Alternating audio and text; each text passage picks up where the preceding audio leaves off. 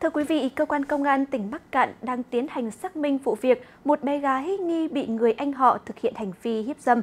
Theo đó, bị hại là bé gái tên DTL, sinh năm 2015, trú trên địa bàn, bị anh họ của mình là TTV, sinh năm 2007, thực hiện hành vi hiếp dâm. Vụ việc sau đó đã được chuyển đến Phòng Cảnh sát Hình sự Công an tỉnh để giải quyết theo thẩm quyền.